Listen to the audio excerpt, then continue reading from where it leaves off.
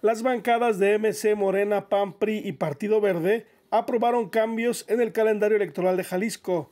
El tema recibió 34 votos a favor de las fuerzas políticas señaladas, dos en contra de los diputados de Agamos, Mara Robles y Enrique Velázquez, y una abstención de la legisladora de futuro, Susana de la Rosa. Ahora el proceso electoral estatal comenzará en el mes de noviembre, previo a las votaciones, esto es, dos meses después de la fecha habitual que era septiembre.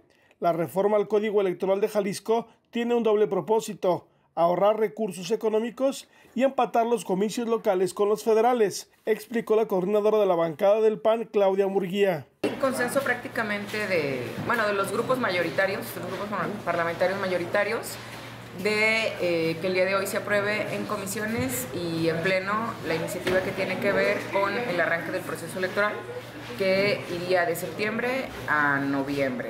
¿Por qué? A prevención de lo que todavía está pendiente de resolver la Corte respecto de también la modificación del calendario electoral en materia federal.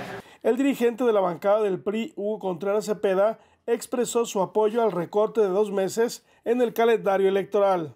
Bueno, ahorita hemos estado trabajando, platicando los coordinadores de los diferentes grupos eh, parlamentarios, la mayoría coincidimos en que sí pudiéramos eh, poder hoy resolver en el Pleno la iniciativa que tiene que ver de eh, ampliar o recorrer el tiempo del arranque del periodo electoral constitucional. Entonces estamos trabajando en eso y en un momento más la Comisión de Puntos Constitucionales estaría sesionando para emitir el dictamen correspondiente. El coordinador de la bancada de Morena, José María Martínez, precisó que al recortarse dos meses el año electoral, se pretende lograr un ahorro de dos millones de pesos, porque ya en ese tiempo no se pagarán rentas de las comisiones electorales. Sí, yo creo que esto va a generar sin duda un ahorro importante para los jaliscienses. Hay que recordar que este, eh, eh, este posible este, eh, nuevo inicio de proceso será mes y fracción, dos meses en, particular, lo que estaremos ahorrando en rentas de 125, para 125 consejos municipales, 20 eh, distritales, más el personal que se deba contratar.